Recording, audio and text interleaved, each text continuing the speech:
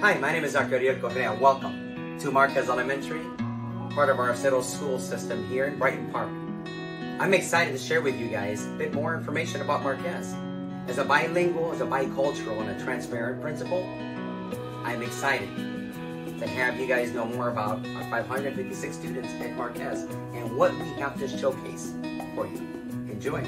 We collect data using top of the line research based software, including Generation Genius, Lexia, IXL, ClassKick, Learning A to Z, all to make sure we are defining the needs of each individual student. A lot of our success has been made sure through connections in the community. We've organized supply drop offs and supply pickups.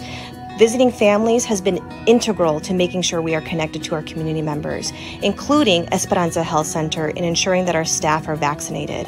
Parents have participated through Padres Comprometidos, a workshop designed to organize parents as teacher leaders of their family.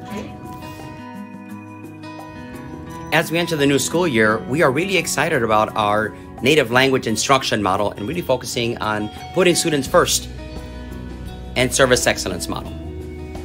At Marquez, students will leave here with a sense of pride and honor about their college and career aspirations.